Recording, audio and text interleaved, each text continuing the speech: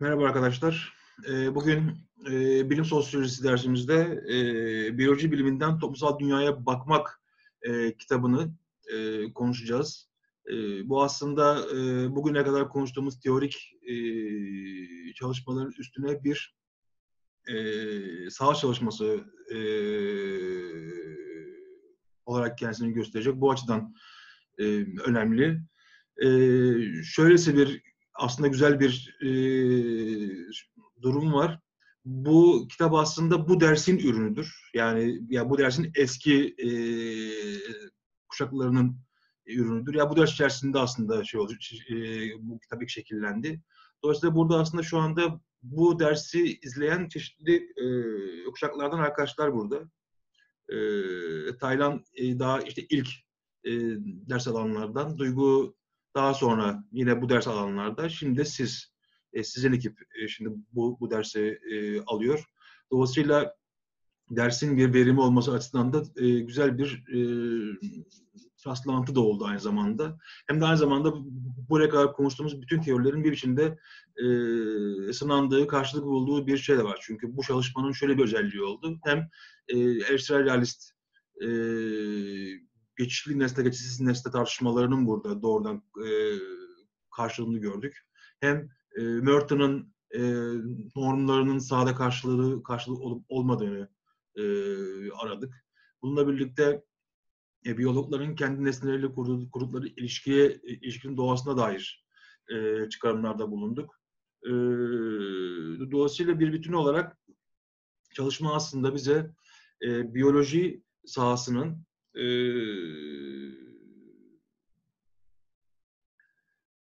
sosyal bilimlere nasıl baktığı ve genel olarak topluma nasıl baktığına ilişkin bir e, fikrin e, sonucunda doğdu. Bu aslında bizim ders sırasında ilk kez e, bir biçimde pişirdiğimiz bir, bir fikirdi.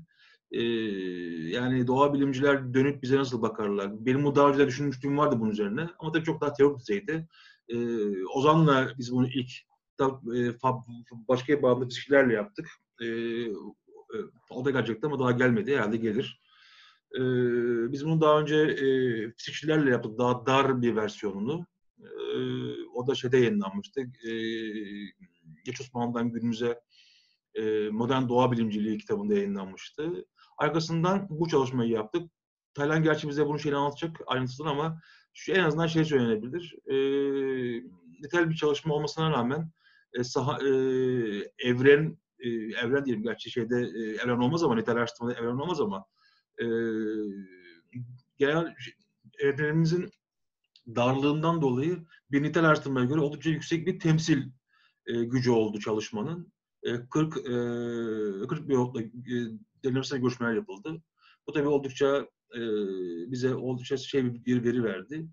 Bir yandan bu e, bu araştırmanın temel işte e, biyologların kendi bilim bilim etkinliklerine, doğaya, topluma ve toplumun biliminin mümkün olup olmadığını ilişkin görüşlerini üzerine, üzerine düşünürken e, bu şey tartışmada aslında şu açıdan da e, ilginç bir e, rastlantı da e, var burada.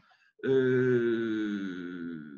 o da aslında tam da bu e, korona virüsü üzerine e, konuşulan bu bu bu e, bu dönemde bu bağlamda bir yandan da e, bu e, korona virüsü ile e, ilişkin çalışmalarda biyologların ya da genel olarak e, birazdan konuşacağız evrim tartışmasının da burada oradan e, izin sürmek mümkün. Pratik bir yanı da var. Bizim sahamızda bu oldukça e, tartışmasız bir husus olarak çıkmıştı. Yine konuşuruz. E, fakat bunun sadece e, biyologlar arasında değil, e, belki biraz daha genç kamuoyu, kamuoyu önünde de bu tartışmanın daha e, şey düzeyde cereyan ettiğine ilişkin, daha makul düzeyde cereyan ettiğine ilişkin bir izlenim var ya da var mı? Bunu bunu konuşabiliriz. E, konuşayım ardından eğer bir şeyimiz de bu olabilir. Yani üstte konuşacağımız bir mevzu da bu olabilir. E, bu ben bu genel takdimin arkasından e, Süt Taylan'a bırakayım. E, Taylan bize kitabın en genel argümanlarını ve şeylerini bize anlatsın. E, arkasından veya e, sunum sırasında eğer sorunuz olursa yine araya girebilirsiniz. E, beklemeyin yani e, sunum sonunu. E, daha sonrasında ben de yine araya e, ara ara girerim. Çünkü yazarı yazarlarından bir zaman e, olma sebebiyle ben de girerim araya. E, Ozan e, sen de e, şey şey açısından belki girsen iyi olabilir. Tam da mesela diyelim e, karşılaştırma durumları evet, olduğu yerlerde hı mesela sen girebilirsin araya. Yani mesela e, tamam, tamam. anlattığı şeyin biyo, mesela biyologlar açısından anlattığı şeyin e, ilişkilerde karşılığı neydi tarzı bir giriş çıkış yapabilirsin. Böyle bir şey daha e, interaktif e, bir sunum olur. Daha iyi olabilir. E, Taylan ben sözü sana bırakayım. Buyur. Tamam hocam. Teşekkürler. Açılışta yapacağım konuşmanın çoğunu zaten Vefa Hoca yaptı. ee, en azından e, şu başlangıcı yapayım kitapla ilgili. E, Vefa Hoca'nın dediği gibi hani bir, bizim de işte bu doktordaki bilim sosyolojisi dersinden yola çıkarak, oradan başlayarak yaptığımız bir çalışmaydı bu. Ya çalışmaya başlarken aslında işte Vefa bahsettiği gibi işte hem Merton'ın e, işte normlar üzerine yazdıkları e, bizim için bir yanda vardı. Bir yandan işte Snow'un o iki kültür tartışması bitmek bilmeyen o tartışma kafamızda vardı. E, bir yandan da e, hani bilim sosyolojisine genelde yani aslında e, temel olarak e, sosyolojiden e, bilim dünyasına işte ya da doğa bilimlerine yönelik bir bakış açısı varken biz bunu biraz tersine çevirmek istedik. Yani hem aslında biyologlara kendi alanları üzerine belli bir öz düşünümsellik e, yaratılmasını sağladık. Hem bizim alana yönelik bir bakış e, almak istedik. Yani bu iki bakış aslında bizim de kendi alanımıza üst, e, dair hani onun üzerine düşünmemize aslında e, neden oldu bazı alanlarda. Özellikle hani sahada hani e, bir bölümünde görüşmelerim ben de vardım sahada. Hani görüşürken böyle kıskandığım noktalar oldu açıkçası biyologları. Hani o yüzden hani bizim kendi üzerimize düşünmek düşmemiz açısından da yani e, birkaç noktasının olduğunu düşünüyorum. E, genel olarak metodolojiyi zaten e, Vefa Hoca özetledi. O yüzden tekrar üstüne geçmeyeceğim. E, bulgular üzerinden ilerleyeceğim. Çünkü zaten e, eleştirel paradigmada üzerinden başkarın kavramları üzerinden yapılan tartışma zaten bulgular içerisinde yürüyor. Kitapta da aynı şekilde yaptık. Hani e, tamamen teorik odaklı bir çalışma olmadığı için daha çok teoriyi biz e, met, yani metodolojide kullanmak için kullandık. Hani böyle uzun uza diye bir e, tartışma yapmadık. Aynı şekilde ilerlemeyi düşünüyorum ben de. E, dört alan üzerinde, e, dört kategori üzerinde yürüdük e, bu kitapta. Bunlardan ilki e, bu biyoloji, e, biyoloji alanındaki bilim insanlarının e, genel olarak e, bilim insanına yönelik e, düşünceleriydi. Burada ilk başta normlara bakmak istedik. Yani bu nesnellik, olgusallık, genelleyicilik, evrensellik, bu tekrarlanabilirlik, kesinlik, sistemlik, düzenlik zaten e, sosyoloji için, sosyoloji pratiği için de geçerli. E, buna e, Merton'un eklediği e, normlar var. Evrenselcilik, bilimsel komünizm, örgütlenmiş şüphecilik ve tarafsızlık gibi. E, bunları sorular üzerinden test etmeye e, çalıştık ve genelde aslında so, e, sorular bir e, norma dair olan sorular biraz geri e, tepti gibi. Çünkü çok e, bunun üzerine bizim kadar e, düşünmediklerini fark ettik. Ya genelde norm dediğimiz zaman hatta kural hani çeşitli kelimelerle de e, açıkladık bunu tek, tek şeyde kalmadık e, kavramda. Yani burada da genelde e, bilimsel değerlerden çok metot, metotlu çalışma ve alana dair alan e, kendi alanlar için geçerli olan etik ilkelere uymanın aslında onlar için ön planda olduğunu e, gördük. Hatta sorulara e, cevaben zaten genelde bunlar verildi. Hani bu aslında e, genel normlara dair nasıl bir anlayışları olduğunu gösteriyor biraz daha açınca soruları nesnelliği vurguladık. E, şey e, nesnelliğin vurgulandığını gördük. Hani aldığımız cevaplardan biri en azından bu e, kavram setinden, bu normlardan e, nesnellik oldu. Bunda da genel olarak aslında baktığımızda işte genelde etiğe odaklanmaları ve metodik çalışmaya odaklanmış olmaları aslında burada daha çok e, hani doğru doğru sistemli bir şekilde yapılması gereken çalışmayı yapma ve yayın etiğine bağlı kalma genel olarak aslında bu bu bir daha buna odaklandıklarını ve daha çok prosedürel bir şekilde yaklaştıklarını aslında görmüş olduk. E, bu şeye baktığımızda, etiğe baktığımızda da e, özellikle direkt hayvanlarla ya da bitkilerle çalışanlarda bu etiğin bir de yaşam, e, canlının yaşamına saygı olarak var olduğunu gör, gördük. E, fakat bu norm olarak sürekli e, e, bu bu normların aslında zaten e, biyoloji alanında sürekli olarak var olduğunun vurgulanması hani tartışma ya bile değer bulunmaması aslında ve ve yönteme bağlı çalışma vurgusu aslında biyolojinin temel bir bilim olarak meşrulaştırıldığını e, gösteriyor bu noktada. Yani bu burada böyle bir tartışmanın aslında biyoloji alanında e, yürümediğini gösteriyor. Belki de konunun söylediği şekilde artık biyologların teknisyen olmasından kaynaklanıyor olabilir. Aslında ona dair veriler de var. Hani kitapta zaten bayağı, ona dair bayağı veri var. Genel genel bilim yaklaşımlarına geldiğimde o noktaya değineceğim zaten. Ee, bu yani bilimin normatif yapısı hususunda hani belli normlar zaten ön kabul olarak alınmış ve dolayısıyla hani sorgulama ihtiyacı bile yok. Hatta hani bunu sormamız bile e, bayağı bir kişi e, abes karşıladı. Yani hani bir bilim insanına neden böyle bir soru sorulur şeklinde. E, fakat da bu sosyal bilimler alanına ya da sosyolojiye geçtiğimiz zaman bu yaklaşımda farklılıkları görüyoruz. Hani kendi alanlarıyla bizim alanımızda e, özellikle nesnellik konusunda net bir ayrım yaptıklarını görüyoruz. E, buna birazdan değin, değineceğim. E, bu e, tamam. No, normlar dışında e, bilimsel rekabet konusuna da bir odaklanmak istedik. Hani şu anda çünkü e, şu anda bilim alanında e, çok önemli bir e, noktada olduğu için bilimsel rekabet durumu. E, bunun üzerinde sorular sorduk. Yani rekabet konusunda açıkçası hani olumlu gören de olumsuz gören de vardı. Bunu zaten tahmin ettiğimiz bir şeydi. Önemli olan hani bunu ne şekilde kurgu, e, temellendirdikleriydi. E, burada rekabetin niteliği daha çok e, ön plana çıkıyordu. Yani olumlu bir şekilde tanımlandığı zaman aslında klasik e, şu andaki akademinin özellikle uluslararası alandaki akademinin e, söylemleriyle karşılaştık. İşte bilimsel çalışma konusun yapma konusundaki motivasyon e, ve bilimsel ilerlemeye yönelik e, bu durumun yaptığı katkı gibi. Ama olumsuz e, yönlerine odaklananlar e, bu niceliksel e, değerlendirmenin özellikle işte bu e, atıf sistemi e, yani evrensel atıf sistemi nedeniyle oluşan bu niceliksel değerlendirmenin hani tam olarak bir konuya yoğunlaşamama ve aynı şekilde e, bilimsel açıdan kalitesi daha düşük e, ama e, niceliksel açıdan daha fazla yayın yapmaya zorladığını e, biyologların bu biyologları bu konuda buna zorladığından dair cevaplar aldık.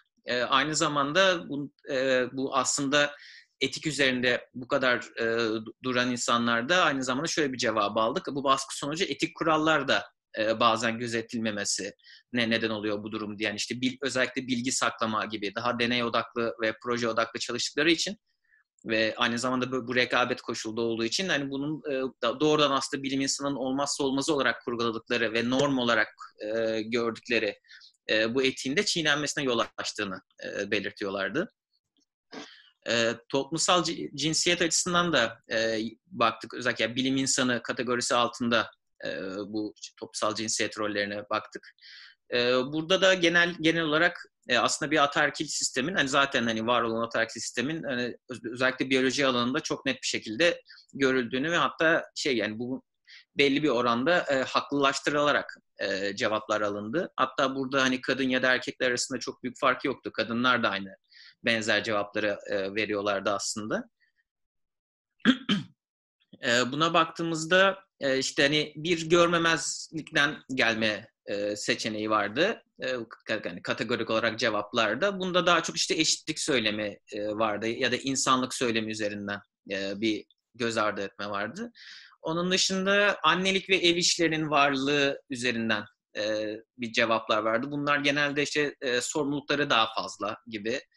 E, bu da tabii yine bilimsel çalışmalarına ve bir bilim insanı olarak kadınların alandaki varlığına işte etki ediyor şeklinde bir cevap vardı. E, bir de tabii biyolojiye özgü bir şey vardı. O da arazi ve laboratuvar ayrımı. Orada, yani bunda e, bayağı net cevaplar vardı. Bunda hatta e, kadınlarda bile e, benzer cevaplar vardı ama erkekler daha çok bu cevabı verdi. E, yani kadınların daha çok e, kendi e, ne diyeyim içsel niteliklerinden dolayı e, laboratuvara daha uygun olduğu hem toplumsal durumlardan hem de e, işte annelik ve ev işleri gibi durumlardan dolayı zaten arazinin kadınlar için daha e, zor olduğu bir söylem vardı. Hani burada özellikle bu arazi laboratuvar ayrımı biyolojide net bir şekilde hani toplumsal cinsiyet bir göstereniydi açıkçası.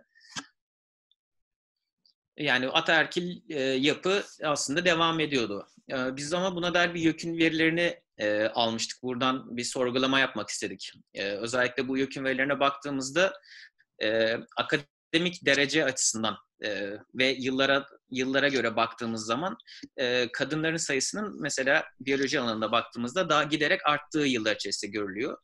E, bu zaten tabii ki hani evrensel bir durum. Bu durum zaten var. Hani tabii ki e, bir eşit tamamen bir eşitlik falan olmuyor ama bir iyileşme en azından olduğu e, görünüyor. E, fakat bunu işte ne şekilde yorumladıklarını sorduğumuz zaman e, yani çünkü e, yeni nesil evet şu anda daha çok e, hatta araştırma görülerinde kadın erkek eşit e, ama mesela bu aynı zamanda şöyle bir yorum da çıkartılabilir aslında. Biz bu yorumu yapmadan sorduk tabii. E, şu yoruma da neden olabilir. E, kadınların daha alt e, akademik ünvanlarda kalıp erkeklerin genel olarak e, akademik olarak daha üst ünvanlarda e, var olduğunu bir göstergesi olarak da okunabilirdi. Yani so, bir sosyolog büyük ihtimalle böyle e, yani bu okumayı kesinlikle yapardı. E, buna baktığımız zaman genelde e, biyologların mesela buna bu şekilde bakmadığını gördük. Hani daha çok bunu bir e, ilerleme ve iyileşme süreci olarak gördüklerini yani birkaç kişi dışında, e, birkaç e, kadın biyolog dışında cevaplar yine bu yöndeydi. E, ikinci kategori olarak biz bilim e, biyologların bilim anlayışlarını e, anlamak istedik. Burada ben bir araya gireyim Taylan hemen şey yapmadan e, geçmeden. Şimdi bu e, arazi lab e, aydınının bir benzerini aslında e, bir tür yani erkeklerin daha e, akıl ve irade, kadınların daha duyguya yoğunlaştırılmasıyla yani böyle böyle görmesine alakalı e, idareci pozisyonlara da e, bunu yansıttığını görüyoruz. Yani genelde e, işte bölüm başkanlığı vesaire gibi daha e, idari görevlere e, ilişkin dağılımda da yine e, erkeklerin daha ön plana çıktığını görüyoruz kadınlar şey değil mi? Yani bizim sağ çıkan bir diğer şey de bu oldu. Yani sadece e, arazi lab ayrımı olarak değil aynı zamanda e, idari görevlilerin üstlenilmesi şeyinde de bunun benzer bir e, ayrımlaşmanın olduğunu gördük. Tek şey evet dediği şey açıdan dediği doğru. Yani e, araştırma görevliliğinde şu anda gel, şey e, görece bir eşitlenme söz konusu. Fakat yukarı doğru gittikçe yukarı doğru gittikçe şey e, açılıyor e, yay açılmaya başlıyor yukarı doğru. E, idari görevlere doğru çıkıldı da hepten zaten e, çok ciddi bir fark e, oluşmaya başlıyor. Evet. Yani işte bu e, birkaç farklı okuma ihtimali yani bir sosyolog olarak e, birkaç farklı okuma yapabiliyoruz.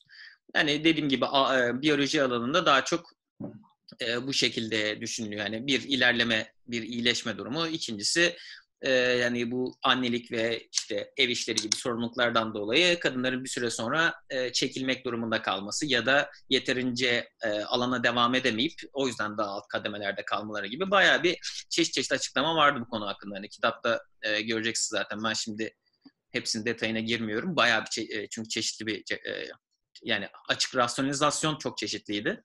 O konuda bayağı bir yaratıcılık var. De şöyle bir e, bilimlerin tasnifi noktasında da benzer bir analoji vardı. Yani işte sosyal bilimler biraz daha böyle aklın dışında kalıyormuş da sanki doğa bilimleri çok aklı temsil ediyormuş gibi bir analoji de vardı diye hatırlıyorum şeyin içerisinde. E, devamında bu okumanın. Ya o, o tarz okumalar zaten genel olarak hani e, öyle bir yaklaşım zaten vardı. Ama hani şunu da söylemek gerekiyor. Beklediğimiz ölçüde yoktu. Yani hani o hani Snow'un bahsettiği boyutta bir e, ayrışma aslında yok. Ya da hani bu kadar keskin işte o hani e, pozitivist e, yaklaşım çok güçlü bulmadık yani şeyde e, biyoloji alanında. Bunun da muhtemelen etkisi var. Ve biyoloji işte hani ben birazdan bahsedeceğim hani Benton'ın da bahsettiği bu işte yüzyıl içerisinde biyoloji alanında gerçekleşen gelişmelerden dolayı da hani bizim e, alana biraz daha yaklaştılar aslında. Daha hani ayrım daha az, daha düşük aslında. Tarihsel yani işte, bir bilim, tarihsel bir bilim e, olarak kendini görmeye başlıyor. En azından nesnelerini bir tarihsellik içerisinde görmeye dönük evet. eğilimleri var. Yani dişi sosyal bilimler, e, işte eril er, e, doğa bilimler mevzu hani o kadar beklediğimiz boyutta değil ya da e, teorideki kadar yüksek değil aslında sahadaki karşılığı. E, yani en azından biyoloji alanında Türkiye'de baktığımız zaman. Burada şeye soralım, Ozan'a soralım. E, fizikçilerde nasıldı Ozan durum? E, fizikçilerde de aslında yani biyologlarla benzerdi durum. E, yani e, nasıl diyeyim? Çok az kişi sosyolojiyi bir bilim öncesi bilim olarak tanımlıyordu. E, o tarz bir ayrım vardı. Onun dışında aslında e, ya bizim sandığımız kadar pozitivist değiller yine aynı şekilde. Hı hı. Evet. Hı hı. Tamam, e, Taylan devam edelim. Tamam. E, bilim anlayışlarına geldiğimizde önce ekolleri e, araştırmak istedik. Bu biyoloji alanındaki ekollerin durumu nedir diye. Aslında burada daha çok paradigma e, yapısını anlamaya çalıştık. Ya burada da aslında beklediğimizden çok çok daha düşük bir e, tartışmanın olduğunu gördük. Bunun nedenlerine ileride zaten geleceğiz. Yani sosyoloji özellikle hani yani çok bir, bir çoklu paradigma bilimi sonuçta hani e, neredeyse e, başından beri olan bir süreç bu. Yani doğa biliminde tamam biraz daha düşük olmasını belki bekleriz ama hani şimdi Türkiye'deki karşılığına baktığımız zaman e, biyoloji alanında da yani neredeyse hiç aslında bir tartışma olmadığını gördük. Özellikle evrim konusundan da birazdan bahsedeceğiz. Hani tamamen aslında adamların e, yani e, biyologlar için işte e, önemli tartışmalar değil. Kendi bu tartışmayı yapmıyorlar bir anladığım kadarıyla. Sadece işte televizyondaki birkaç doksozof yapıyor gibi duruyor. E, baktığımız zaman bu e, ekollere genel olarak daha yine dediğim gibi hani işte Alman Anglo-Sakson ekolü ayrımını söyleyen vardı. İşte hani e, bunlardan işte Anglo-Sakson'a daha yakınım diyenler vardı hatta e, bu cevapta da. Aslında bu işte pragmatizmin yine bir göstergesi aslında bu da. Yani ağırlıklı olarak çünkü hep pragmatik cevaplar aldık. Hani klasik ve modern biyoloji e, ayrımı vardı. Bir de evrimciler ve yaratılışçılar diye bir ayrımda ekoller arasında hani cevap olarak verildi. Ama hani bu tartışmanın içerisinde hiçbiri yer almıyordu aslında. Yani sadece alanda böyle bir şey var şeklinde e, bir cevaptı bu da. Ya dolayısıyla hani böyle bir çoklu paradigma durumu gibi bir şey söz konusu değil. Evrim teorisi de e, ve ya da evrim de tamamen aslında siyasi bir tartışma konumunda. Hani kendileri için de öyle. E, oraya geldiğimizde daha netleşecek bu. Genel olarak baktığımızda zaten bir bilimsel ilerlemecilik e, anlayışının e, var olduğunu görüyoruz. Yani o yani bir, birikimsel bir şekilde bilim ilerler e, şeklinde bir e, görüş hakim. Yani e, saat sadece iki cevapta bilimsel sıçrama vurgusuna e, rastladık. Hatta bunlardan bir tanesi zaten bilim felsefesiyle uğraşan tek kişi e, hocayla görüşlerimiz arasında. O hatta Kuna da atıfta bulundu. O konuda Ozan'ın tarafı biraz daha zengin e, bize göre. ben de direkt sorduğum sorunun Kun'dan geldiğini bilerek e, cevap veriyorlardı. Yani. yani öyle, öyle, öyle bir vurgu vardı bizde yani. Ya bizde hani e, biyoloji alanında genel e, aslında yani pozitivist bir e, tutum yoktu genel olarak baktığımızda ama e, birikimsel bir ilerleme süreci e, yani çok çok büyük çoğunlukla kabul edilmiş e, bir durumdu. E, bu onun dışında ama mesela e, ilerleme sürecinde belli e, kesintiler, yavaşlamalar, duraklamalar olduğunda genelde ifade edildi ama bu tabii daha çok genel yerel ölçek olarak düşünüldü. İşte ekonomik darboğaz gibi genelde fonlanmayı e, düşündükleri için e, hani ekonomik darboğazlar, işte ülkenin geçtiği siyasi e, olaylar gibi e, durumlara genelde e, örnek verdiler.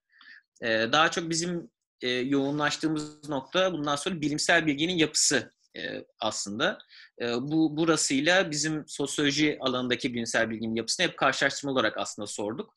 E, kitapta e, farklı kategorileri altında daha rahat okunabilmesi için o şekilde yaptık ama aslında sorular falan hep e, şeydi. E, birbirini karşılaştırabilecek şekilde oluşturmuştu. Sırası da aşağı yukarı öyleydi. Ee, burada işte Başkar'ın terminolojisinden burada yararlandık zaten. İşte geçişli geçişsiz nesneler. Ee, bu bilimsel bilginin uzam zaman bağımlılığı. Ee, kitapta e, çoğu yerde zaman mekan olarak geçiyor. Uzam zamanı anlatmamız biraz zor olacağı için e, biyologlar açısından zaman mekan olarak e, şeyde geçirdik. E, iyi anla, iyi anlamıyorlar. Yani e, uzam kelimesini anlamıyorlar ondan kaynaklı. Evet, yani pilotta denemiştik, baktık e, olmuyor. E, şeye çevirdik, zaman mekana çevirdik o yüzden ve bu şekilde çok net anlaşıldı. E, üçüncüsü de açık ve kapalı sistemlerdi. E, bu üç olguyu e, aslında tamamen bu üç e, kavram üzerinden e, biz bu e, tartışmaları yürüttük. Bu toplum işte kendi bilgi nesneleri bizim bilgi nesnemize olan e, karşılaştırma, e, bizim e, sosyoloji ve e, biyoloji arasındaki karşılaşmalar aslında bu bu üç temel hat üzerinden gerçekleştirdik.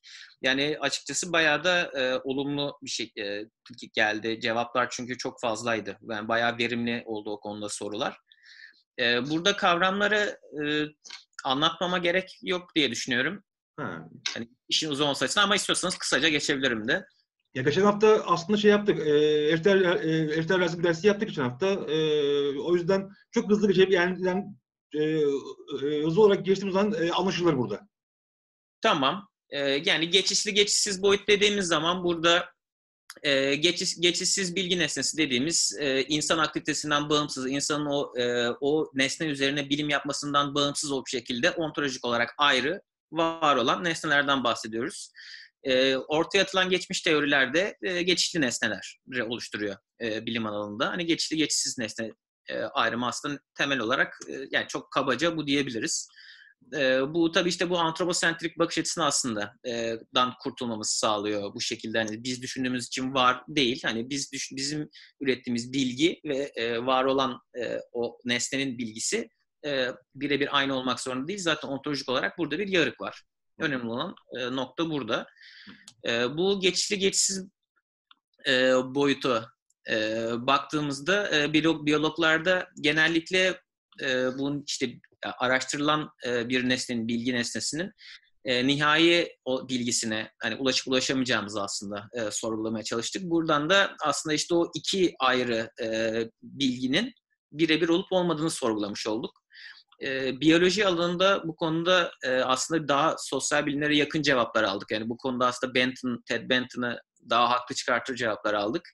E, burada bilgi nesnesinin genellikle değişim içerisinde olması, hani biyolojik bir e, biyolojik canlılar olduğu için e, teknolojinin gelişme e, gelişle, genişlemesi, e, teknolojinin gelişmesi e, ve dolayısıyla e, daha farklı, daha gelişmiş araçlarla daha farklı bilgilere ulaşabiliyor olma. Yani aslında yine e, bilimsel ilerleme noktasına tekrar buradan dönmüş oluyoruz. Yani e, bilim sürekli ilerlediği için ve teknolojik bir e, altyapı da ilerlediği için üretilen bilgiler de e, değişiyor. Yani dolayısıyla genelde birimsel ilerlemeden aslında e, kaynaklandığını bunu e, belirtiyorlardı. E, bu uzam zaman e, bağımına geldiğimiz zaman aslında tam olarak e, Benton'ın yani Başkar'a e, Benton'ın yaptığı eleştirinin aslında e, karşılık olarak baktığımız zaman Benton'ın e, daha haklı çıktığını görüyoruz burada. Yani Başkar çünkü toplumsal yapı, ve mekanizmaların uzam zaman bağımlı olması nedeniyle e, naturalizm konusunda ontolojik bir sınıra sahip olduğunu iddia ediyor. E, Benton ise sadece toplumsal yapı ve mekanizmalar değil, doğadaki yasalar ve mekanizmalar da uzam zaman bağımlıdır diyor. Ve bu konuda da direkt biyoloji örnek olarak gösteriyor aslında. E, Hatta ben bizim e, şeyden de örnek vereyim. Görüştüğümüz fizikçilerden birine hani e, şey doğa bilimleriyle sosyal bilimler arasındaki hani fark üzerinden sorular yöneltirken şeyi söylemiştim. Hani e, siz hani sosyal bilimlerin zaman bağımlılığının onların bilimsellik e, kriterlerini sağlayamamasına neden oluyor mu bir soru yöneltmiştim. O da şey demişti yani fizikte de zaman var. Sadece zaman ölçeği farklı sosyal bilimlere nazaran demişti yani. Aslında yani fizik için de benzer şeyle geçerli oluyor bir noktada. Evet yani biz mesela doğrudan zaten direkt Benton'ın söylediğinin aslında karşını bulmuş olduk. Ee, yani o fizik alanında mesela fizik alanında bunun olması aslında hani doğrudan sadece biyoloji, sosyoloji değil doğa bilimleri, sosyal bilimler Hı-hı. alanındaki uçurumun zannettiğimiz kadar ya da e, teoride tartışıldığı kadar e, geniş olmadığını aslında bir gösteriyor.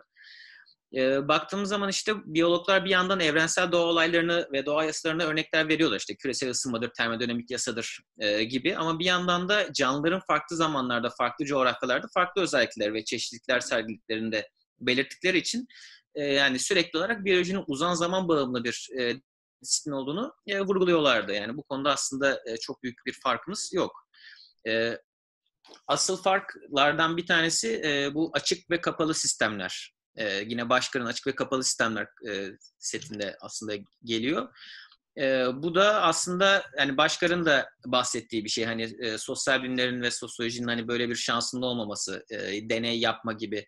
Yani sadece tek bir mekanizmanın e, işlediği ve tek bir e, üretken yani tek bir üretken mekanizmanın e, işlediği sistemlerin e, sosyolojide ve sosyal bilimlerde yakalanma ihtimali olmaması fakat aslında bunu doğa bilimlerinin yapabiliyor olması aslında zaten doğa bilimleriyle e, sosyal bilimler arasında konulan e, farklardan bir tanesi. E, biyologlara bunu sorduğumuzda genel olarak baktığımız zaman e, yani böyle bir kabul var. Evet yani e, sosyolojinin böyle bir şansında olmasının belli bir dezavantaj getirdiğini belirtenler vardı. Ama bir yandan bu açık kapalı sistemler mevzusunu aslında biyoloji için de hani e, net bir şekilde aslında ayrımını yapıyorlardı. Yani çünkü e, deneyde yaptıkları durumun, deneyde yarattıkları e, kapalı sistemin yani doğada bir aslında tamamen karşılığının olmayacağını e, çok yani e, birçok kişi kabul ediyordu. Yani e, bir deney sırasında üretilen e, üretilen bir açıklama e, doğada her zaman çoklu faktörlerin olduğu, çok fazla mekanizmanın olduğu bir şeyde çalışmayacağını e, e, belirten e, çokça kişi vardı. Yani dolayısıyla burada da işte hani kendi bu konuda bir olanakları olmasına rağmen e, bize karşı hani bu e, kapalı sistemle açık sistemler arasındaki farkı gayet net bir şekilde aslında e, biliyorlardı. Yani bizim fizik sahasında da öyle olmuştu. Hatta Ege Üniversitesi'nde görüştüğüm hocalardan biri kendisi anlatıyordu. Yani stokastik sistemler diyerek açık sistemleri bana anlatıyordu mesela. Şey mülakat sırasında. Yani e, yani eleştirel realizmin terimlerini çoktan yani, yani bilmeden kendi zaten etkinliğinden görerek üretebilmişler aslında yani. Evet bizdeki de öyleydi yani tabii ki yani o kavram setlerine bir hakimiyetleri yoktu ama bahsettikleri şey birebir buydu yani açık kapalı sistem dediğiniz zaman açıklama yani çoğu şeyde mesela bilimsel normlarda açıklama daha çok açıklama yapmamız gerekti mesela. Açık kapalı sistemlerle ilgili sorularda hiç açıklama yapmamıza gerek yoktu. Doğrudan anlayıp cevap verebiliyorlardı. Yani bu, bu bir gösterge zaten. Yani bilimin sosyal tarafına refleksiyon yapmak yerine kendi, etkinliğin kendisine angaje oldukları için herhalde. Yani öyle tahmin ediyorum. Ya zaten tamamen etkinlik Hı-hı. içerisindeler. O, o yüzden o, o yani etkinliğin kendisini daha iyi anlayabiliyorlar e, sosyal boyutundan ziyade. Yani e, evet. o şekilde. Hı-hı. E, şimdi bu kategori altında en son doğa bilim ilişkisini e, biz araştırdık. E, burada buradan da aslında e, çıktığımız sonuç e, şöyle yani e, şöyle sorular sorduk aslında. Birincisi doğrudan bu ilişkiyi sorduk. Hani ona dair cevaplar almaya çalıştık. Hani doğa ve bilim e, arasındaki ilişkiyi anlamak için. E, ikincisi de bu e, insanın bilim sayesinde e, doğa üzerine bir hakimiyet kurup kuramı da kura, kuramayacağı üzerine ya da kurup kurmadığı üzerine e, bir sorguydu. Yani bunların birleşimine baktığımız zaman aslında aynısı şunu da görmüş oluruz işte o e, yine o e, işte klasik modernist bakış açısına sahip olmadıkları. Yani aslında o bahsedilen işte ya da o Snow'da geçen işte o iyimser e, bilim insanı e, yani nosyonu hiçbir şekilde aslında onlarda karşılığının olmadığını aslında e, burada bayağı bir karşılığını bulduk. Hani bilimsel e, şey doğa üzerine bir hakimiyet kurduğu kurulduğunu e, söyleyenlerin bile e, büyük bölümü bunu olumsuz bir şeyle karşıladı. Yani o bahsedilen işte klasik stereotip e, doğa bilimciden çok az kişiyle karşılaştık ki yaptıklarımız arasında, görüşlerimiz arasında hani mümkün olduğunca dağıtmıştık. Mikrobiyoloji alanında çalışanlar da vardı. Ekoloji alanında çalışanlar da vardı. Yani mikrobiyoloji alanı mesela buna baktığımız zaman biraz daha mesela bu doğa bilim ilişkisini biraz daha tahakküm üzerinde kurguluyordu. Ama onlarda dahi hani bunu hem bu tahakküm var hem de olumlu bir şekilde söyleyen kişi sayısı çok çok azdı. Yani genel bak e, karşılaştırdığımız zaman. Yani zaten doğa bilim ilişkisinde genelde doğa işte bilim olarak bak bakanlar vardı. Bilimin amacı doğayı anlamak e, şeklinde e, ilişkiyi kurgulayanlar vardı. Bir de doğayı bilime kaynaklık eden e, temel bir olgu e, olarak görenler vardı. Burada da yine işte özellikle bu e, bu ilk birinci ve üçüncü kate, e, kategoride cevap verenler zaten otomatik olarak bu hakimiyete, e, doğa üzerindeki hakimiyete ve tahakküme zaten olumsuz e, bakıyorlardı. E, şimdi e, bizim e, alana yönelik bakışlarına geçeceğim. Ekleyeceğiniz bir şey yoksa hani toplum ve sosyoloji üzerine olan bakışı.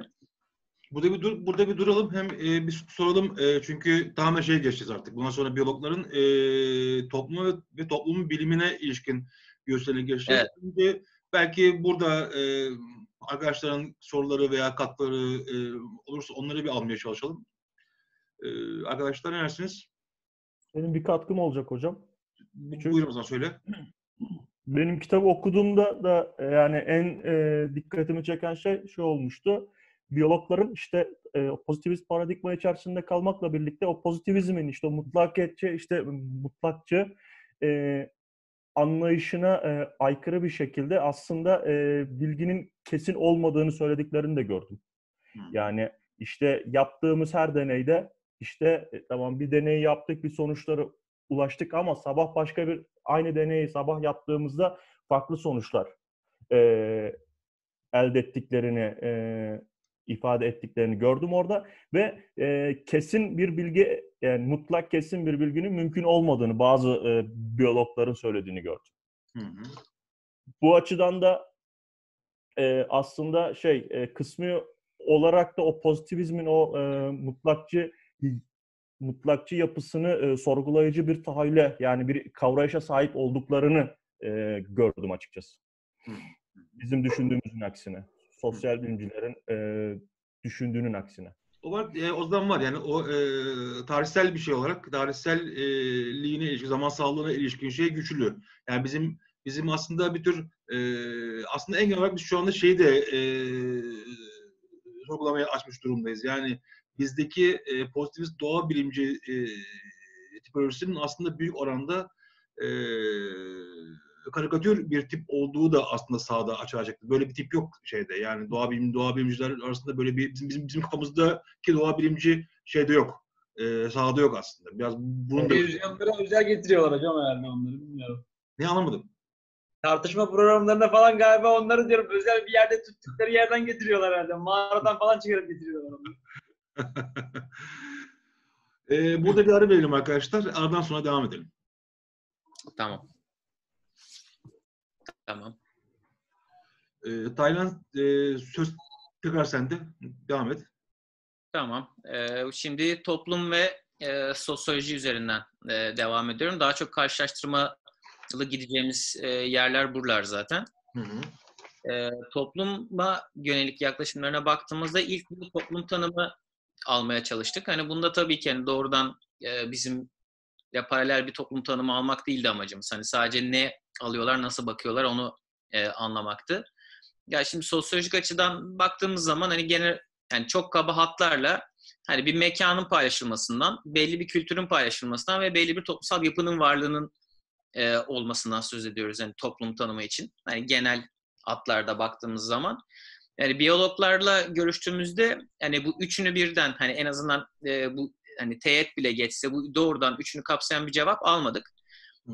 Genel olarak e, ama kültür ve değerler noktası e, ön plandaydı toplum tanımı yaptıkları zaman. Bu e, kültür ve değerlere e, mekanı ekleyen de oldu. E, fakat e, şey yani double e, üçünün olmamasının aslında sebeplerinden bir tanesi e, da, daha önce de bahsettik aslında e, hani toplumu ve bireyi tam olarak farklı yapılar olarak e, gö- görmüyorlar aslında. Hani direkt doğrudan baktıkları zaman öyle görmüyorlar. Hı. Hani e, bir üretici mekanizma olarak toplumdan bahsediyorlar. E, fakat hani doğrudan böyle bir ontolojik ayrım yapmıyor yapmıyorlar aslında. Aslında sosyolojiye bakışları da e, biraz onun, onun tarafından belirleniyor. O- ona e, bir sonraki şeyde bölümde gelirim zaten. Şimdi de, e, dediğim gibi hani bu kültür ve değerler genelde toplum tanımında ön plana çıkıyor. Mekanı ekleyen e, birkaç biyologlar var. E, toplum ve ulusu ya da milleti doğrudan e, birbirinin yerine e, kullanan biyologlar oldukça fazlaydı. E, bir de biyolojiden yola çıkarak yapılan tanımlar vardı. Hani onlar da e, bizim için faydalı çıktı açıkçası. İşte aynı topraklar üzerinde aynı habitatta yaşayan bir grup insan diye mesela bir tanım vardı. Yani biyolojik temelli e, bir yaklaşım. E, kendi alanlarından bakış açılarını çok net e, gösteren bir şey. E, fakat e, hani bu- doğrudan sorulduğunda e, az sayıda biyolog aslında bir nedensel güce sahip bir varlık olarak aslında toplumdan bahsediyordu. Ama e, yani ilişkileri sormaya başladığımız zaman aslında kafalarında e, böyle bir e, şeyin olduğunu aslında toplum diye ayrı bir e, nedensel bir güce sahip bir varlığın olduğunu aslında e, fark ediyorduk. O yüzden zaten sorularda biz genelde e, aynı şeyleri e, normalde nicelde yapılan bir şeydir bu. Ama e, bu çalışmada e, nitel olmasına rağmen uyguladık. Bayağı da faydasını gördük. Bence hani kullanılması faydalı bir teknik yani şeyde e, niceliksel şey niteliksel çalışmalarda. E, bir soruyu hem e, genel olarak e, yani doğrudan soruyorduk. E, aynı zamanda e, ona e, paralel geçebilecek, onu kesebilecek e, sorularla tekrar e, geri döndürüyorduk. E, bu şekilde doğrudan e, cevap vermedikleri noktada alamadığımız fikirlerini e, o cevaplardan alabildik.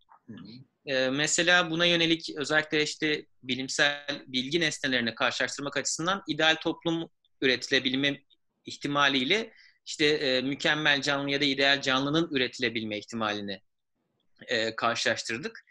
E, bunda baktığımızda e, bir, bir, kıs, e, bir kısım biyologdan şey cevabını aldık hani mükemmel ya da kusursuz bir canlı ya da organizman insan tarafından üretilebilir ya da üretildi diye. Hani zaten e, bunun örne ama bunun örneklerine baktığımızda e, bu cevap verenler genelde daha e, mikrobiyoloji, hücre biyolojisi, genetik e, gibi alanlarda çalışanlar. Yani aslında doğrudan bilgi nesnesine e, müdahale edebilen, onun üzerinde manipülatif etki ve manipülasyon e, yapabilme kapasitesine sahip olanlarda bunu görüyorduk. E, ama e, gene şeyde e, ağırlıklı olarak baktığımız zaman cevaplarda yine e, mükemmel canlı e, üretimi noktasında e, sürekli yani yine o aslında o pozitivist e, bakış açısı yoktu. Hani doğaya ve e, canlıya karşı farklı bir yaklaşımları hatta bir saygı da karışık bir yaklaşımları olduğu için doğrudan aslında üretilme noktasında çok hemfikir değillerdi. E, fakat şeye baktığımız zaman bunu ideal toplumun inşa edilebilmesi üzerine sorduğumuz zaman mesela e, bir anda yarısından fazlası çoğu kişi e, bunun mümkün olduğunu e, belirtiyordu. Bunun için buna e, dairdi. Bunun yolu olarak da genelde eğitim, e, işte din, e, bilinç kazandırma ya da e, toplumsal evrim, toplumsal değişme gibi noktaları genelde kullanıyorlardı. Hatta sosyolojinin de bu konuda aslında bir faktör olarak e, sosyolojiyi de sayıyorlardı. Ya bunu karşılaştırdığımız zaman aslında yani şöyle bir sonuca varabiliyoruz. Yani genel olarak ideal bir toplumu inşa edebilme ihtimali hani doğrudan mükemmel istediğimiz bir canlı üretebilme ihtimalimizden daha yüksek e, biyologların görüşüne göre.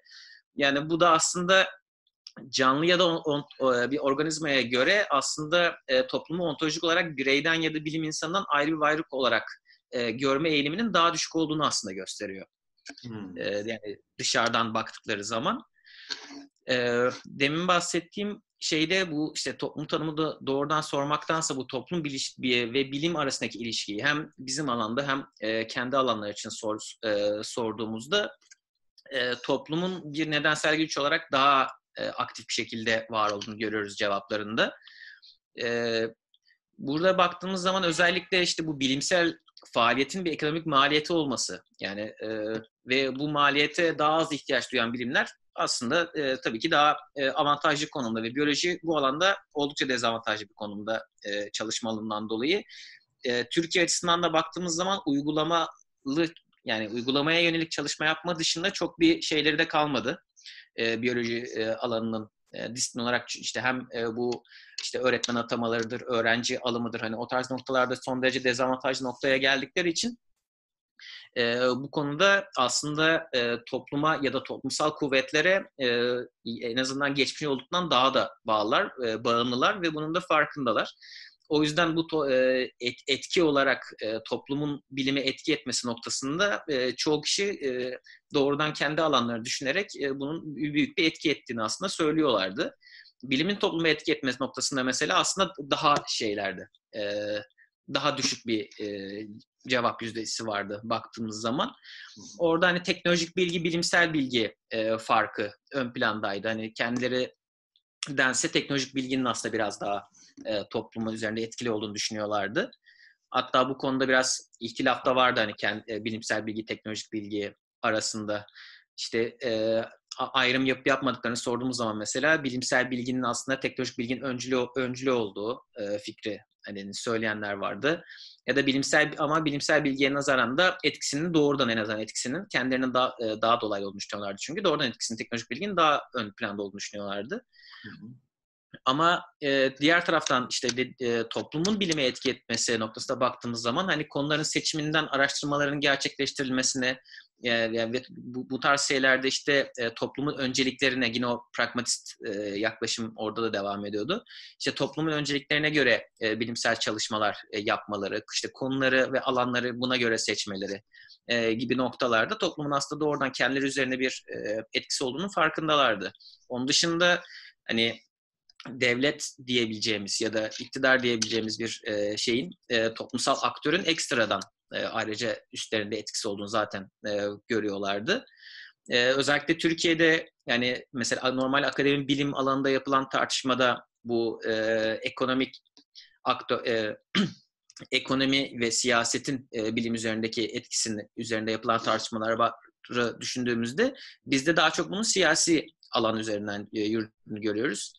E, yani biyologlar, görüştüğümüz biyologlar e, bir bölümü şey diyordu hani siyaset alanının doğrudan aktif müdahale edebildiklerinden bahsediyorlardı. Yani dolayısıyla toplumsal kuvvetlerin aslında hani başkan ifadesi üretici bir mekanizma olarak e, bir bilim üzerinde etkisi olduğunu genel olarak kabul ediyorlardı. Ee, o zaman e, bizim sahada neler, neler çıkmıştı? Bizim fizik sahasında neler çıkmıştı? Sen onu e, biraz özetler misin? Yani toplum toplumu bir e, bağımsız e, özel belirli vermiş güçler içerisinde e, kavruyorlar mıydı? Nasıldı? Ee, yani kavrayan da vardı, kavramayan da vardı. Yani tabii top, yani sosyolojinin kendi özel nesnesine sahip olduğunu söyleyen fizikçiler yoğunluktaydı. Fakat aşırı indirgemeciler de vardı. Yani nasıl diyeyim? Ee, toplumun e, atomlardan oluştuğunu söyleyen fizikçi de vardı. Daha sansasyonel şekilde. Yani deterministik olarak gören de vardı. Bak onun dışında yani özel bir e, inceleme nesnesi olduğunu kabul ediyorlardı genel olarak. Hatta e, kendi yöntemlerinden yola çıkarak işte şeyleri falan bile öneriyorlardı işte hani sizin e, bilim nesneniz çok fazla tarih zaman bağımlı olduğu için, mekan bağımlı olduğu için işte belli topluluklara, gruplara bölerek belli zamanlar için hani e, bizim kademeli örneklem almaları dediğimiz biçimi anlatan fizikçi bile vardı yani. O, o, derece, o derece e, fizikçiler de vardı. Fizikçinin, yani, e, fizikçinin birinden bana şey gelmişti. E, hocam birlikte yayın yapalım diye. Ben şeyi buldum diye e, toplum yasalarını buldum diye bayağı böyle göndermiş. Mail bayağı uzun bir makale göndermiş. E, daha sonra e, karalama, karalama göndermiş. Bir yıl denk ben hat, hat, hatırlıyorum sanki onu ya. Harmonik e, harmonik hareketlerle e, şey toplumların e, şeylerini e, devrim ve darbe şeylerini örüntülerini açıklamaya çalışıyorum da. e, tabii cevap da vermedim. Şimdi yapacak bir şey yok yani. Ben, cevap da verilmez yani. Şimdi ne diyeceğim yani. Ee, evet. Devam edelim Taylan. Tamam bu e, ideal toplum ve ideal canlının inşası gibi e, karşılaştırma yaptığımız bir, e, bir sonraki şey de biyolojik ve toplumsal evrim e, noktasıydı. E, bu da hani bizim için iki alanı karşılaştırma açısından e, iyi bir e, örnek diye düşünmüştük. E, aslında karşılığında aldık bunun da. E, bunda baktığımız zaman evrimi direkt kavram olarak e, alan bir bölüm vardı. Evrim teorisi olarak alan bir bölüm vardı. E, bu yani bu mesela işte o mikro makro evrim mevzusunu hani o asıl asıl tartışmanın aslında belli bir oranda olduğunu bir göstergesiydi ve aynı zamanda bunu üzerine düşündüklerinin de bir göstergesiydi. Ama şöyle bir şey var, yani hemen hepsi zaten evrimin varlığı noktasında hem fikirdi ve evrim bir tür değişme olarak gördükleri için yani zaten hani bu tartışılmayacak bir noktaydı. Yani bunu o yüzden de zaten daha önce hani siyasi tartışma olarak aslında e, var olduğunu hani alanda hiç de böyle bir tartışma olmadığını görmüş olduk. Yani biz mesela aslında biraz daha fazla bir tartışma bekliyorduk bu alanda. Özellikle tam bizden çık biz e, sahaya çıkarken de biraz alevlenmişti tekrar. İşte MEP e, şeyi kaldırmıştı, evrimi kaldırmıştı e, ders kitaplarında. Hani beklediğimizden de hararetli bir döneme aslında denk gelmişti ama ona rağmen hani böyle bir tartışma yoktu ki gör, gittiğimiz yerler arasında Hani Atatürk Üniversitesi de var. Hani sonuçta hani bizim sosyal bilimler açısından tamamen e, konumu belli olan bir üniversite olmasına rağmen hani biyoloji alanında mesela hani öyle bir e, konumlanma yoktu yani e, şahsi olarak muhafazakar olmasının hani bu alana bakış açısında çok bir farkı yoktu. Bu farkı nerede görüyorduk? İşte e, o tek tanrılı teoloji ile evrim teorisi arasında bir uyuşmazlık olduğu zaman işte mikro evrimi e, kabul edip makro ev, evrimi reddetmek şeklinde e, ancak bir şey olay, e, bir ayrıma gidebiliyorlardı. O da aslında bir nevi öz, e, bir modern bir ayrım hani e, özel alan. O özel alan dediğinde aslında top, kendi toplumsalını ve kültürünü yaşadığı alan var. Yani burada istediğine inanabilir. Ama laboratuvara girip önlüğünü taktığı anda e, evrim tamamen geri dönüyor ve orada tartışacak bir şey yok. Hani işte ama burada daha uzlaşmacı e, yollarla işte mikro evrimi kabul edip makro evrimi reddetme gibi bir e, şeylerle e, ya da işte evrim teorisinin e, de var olan e, kozmolojiyi dinsel kozmolojiyle hatta uzlaştırmaya e, yönelik yönelik hamleler hatta Hristiyanlarda daha yoğundur bizde yeni yeni muhtemelen başladı. E, yani bu tarz yöntemlerle en azından bu işi bir şekilde götürebiliyorlar ama hani evrim konusunda herhangi bir tartışma yok alanda. Yani, yani şey diyen de var. E, şey diyen de vardı yani e, evrim evrim varsa e, Tanrı böyle istediği için var. Yani Tanrı istediği için vardı diyen oluyordu. Yani o şeyi e, teolojiyle yani o teolojik e, şeyle bir, bir, şekilde evrimiz ulaştır, e, ulaştırmaya dönük bir girişimde oldu. Vardı yani. E, o da gözüktü. Aslında bilimsel mirası reddetmeme gibi bir e, şeyleri var. Yani fizikçiler de öyleydi yani. Hani bilimsel sıçramayı anlatırken bile onu birikimselliği, ilerlemeyi kullanmaları. Yani Kuhn'un kopuş hikayesini komple reddetmeleri, Newton'un teorisini yeniden yine sahiplenmeleri falan hani aslında biraz e, nesneyi koruma şeyi de var yani. Reddetmiyorlar bilimsel mirası. Yani ne olursa olsun bakış açıları. O aslında ilginç bir mesele. E, onu demin konuşmayı da unuttuk aslında. Az e, açtım belki biraz şey yapılabilir. Çünkü mesela e, fizikçilerin sahasında biz genelde e, paradigmatik geçiş işte vesaire üstüne konuşurken e, Kuhn'un kavramları üzerinden mesela şey örnek verilir ya yoğun olarak işte e, Newtonian pa- paradigmayla işte e, atom altı e, fizik e, arasında bir işte işte e, matematik shift olduğuna ilişkin bir anlatı vardır. Mesela e, fizikçilerin buna ısrarla karşı çıktığını gördük. Yani çok büyük oran, hepsinin ama. Yani sadece sadece e, klasik e, geleneksel e, pozitivist eğilimli olanları değil, daha işte şey açık olanları da.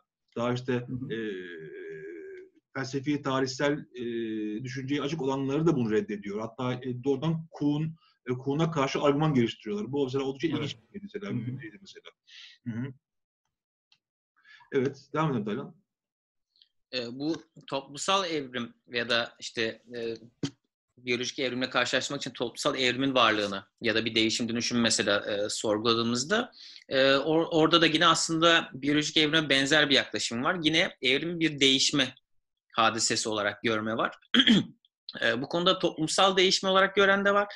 Antropolojik bir çizgi iler, e, üzerinden ilerleyen de vardı. Ama yin- yine asıl orada var olan şey işte o klasik modernist yaklaşım ve ilerleme noktası değildi toplumlar açısından. Değişme de aslında. Yani hem kendi alanları açısından baktığımız zaman hem de e, güncel e, hem bizim e, güncel tartışmalarımıza hem de güncel e, duruma baktığımız zaman dünyada aslında gayet tutarlılardı bu noktada. Hani değişme olarak görmelerinden dolayı tamamen bir ileri geri dikotomisi yaratmıyorlardı ya da bunun üzerinden tartışmıyorlardı. Çok düşüktü e, bunu e, bunu iddia eden biyolog sayısı.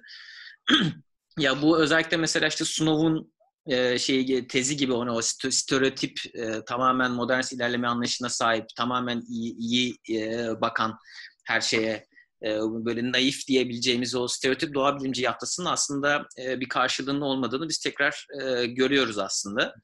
Hani burada baktığımız zaman da bu ileri geri dikotomisindeki kırılma aslında modernist söyleme yönelik bir inançsızlıktan çok hani modernizmin vaatlerini aslında yerine getirmemiş olmasından e, gibi görünüyor. Yani sonuçta yaşadığı topluma ve dünyaya bakıyor bu insanlar. Hani e, yine Snow'un bahsettiği gibi hani öyle tamamen e, toplumsaldan kopuk sadece laboratuvarda çalışan insanlardan aslında bahsetmiyoruz.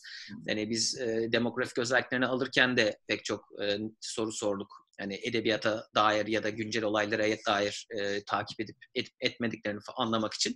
Orada da gayet e, hem günceli hem edebiyatı hem sinemayı e, hepsini gayet e, takip ediyorlardı. Öyle bir kopuş e, yoktu.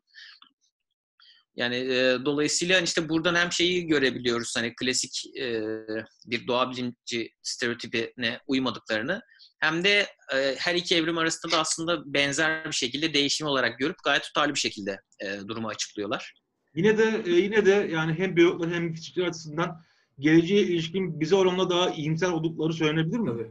E, ta, tabii bizim kadar kötümser değiller. O, orası ben de o, o, o konuda katkı sağlayacaktım. Ee, yani e, bize e, bilimsel ilerlemenin her zaman mutluluk getirdiğini tam anlamıyla şey yapmıyorlar, kabul etmiyorlar. Modernitenin tamamen iyi bir şey olduğunu kabul etmiyorlar ama geçmişe kıyasladığında ilerleme olduğunu kabul ediyor son noktada. Yani daha nitelikli bir şey var. Geleceğe daha şey bakıyor. Geleceğe bizden daha iyimser bakıyorlar. Bu açıdan kısmen e, e, şey gibi yani e, belki şöyle söylenebilir. E, Snow'un anlattığı tarzın naif bir iyimserlik değil de daha e, ihtiyatlı bir iyimserlik e, e, söz edilebilir değil mi?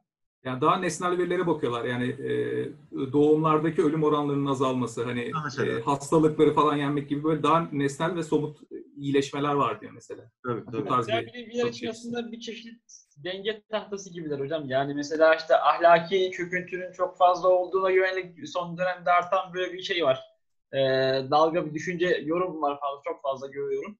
İşte e, kadın ölümleriyle ilgili, kadına şiddetle ilgili vesaire birçok konuyla ilgili çok ümitsiz e, yorumlar yapılırken aslında oraya bakmak işin biraz nicel tarafıyla ve diğer taraftan hani onların e, doğa bilimcilerin bakış açısıyla yaklaşmak biraz daha sanki e, o dengeyi sağlamakta yardım ediyor gibi e, geliyor bana. Çünkü Doğru. e, eski oranda yani e, birçok şeyin aslında daha iyi olduğunu e, daha ahlaklı olduğumuzu falan onlar daha net gösterebiliyorlar bize. E, farklı yaklaşarak. E, o iyi oluyor bence. Hı hı hı. O konuda ama e, yani Ozan'ın sahasıyla yine belli bir farklılık var. Yani fizikçiler kadar ya da olumlu bakmıyorlar. Hani biyoloji alanında oldukları için özellikle ekoloji alanında e, çalışan biyologlarla görüştük. Onlar Hı. hani öz, ve bu e, işte daha önce de bahsettiğimiz o doğaya tahakküm ilişkisinden mesela hani bundan çoğu e, olumsuz bir şekilde bahsedip hatta bunun bir yıkıma doğru gittiğinden e, bahseden biyolog sayısı çok daha fazlaydı. Yani aslında doğa bilimciler arasında orada muhtemelen biraz e, bir ayrım var. Hani biyologlar biraz daha pesimist e, fizikçilere göre. Hı. Ya burada gelişme değil de sanki değişme kavramı daha ön plana çıkıyor gibi değil mi? Biyologlar sadece değişmeyi kullandık biz. Yani gelişmeyi kullanmak için yeterli veri yok elde. Yok yok evet. Evet.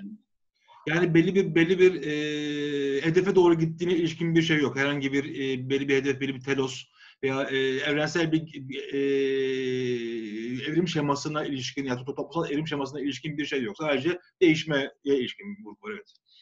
Bu değişme noktası o yüzden zaten hani iki evrim arasındaki tutarlılığı o yüzden söyledim. Yani ikisini de değişme olarak görüyor. Bu illa hani doğada zaten ileri yönlü hani iyiye doğru bir gelişme hani absürt bir laf olur zaten biyologlar açısından.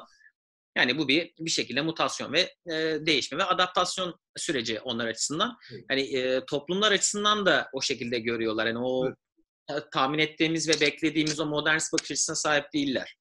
Yani muhtemelen tabii çağın ruhuyla da alakalı bir durum bu. Özellikle işte hani ekoloji alanında çalışan kişi görüyor hani e, doğrudan elinde veriler var zaten. Yıkım var ya. Çok bariz yıkım var orada doğru.